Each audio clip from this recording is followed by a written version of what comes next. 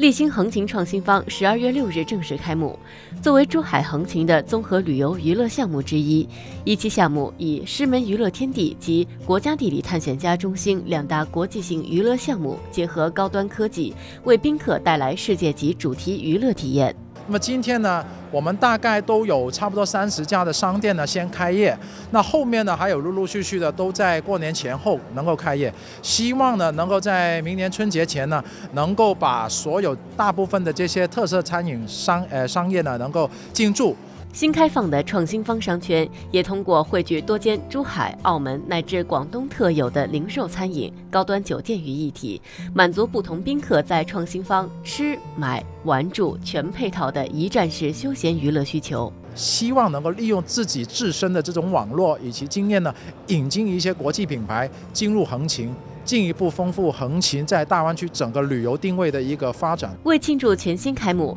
创新方也将于一月前推出全新冬日黄金小镇主题嘉年华，精彩的活动和精美的礼品等着你，千万别错过。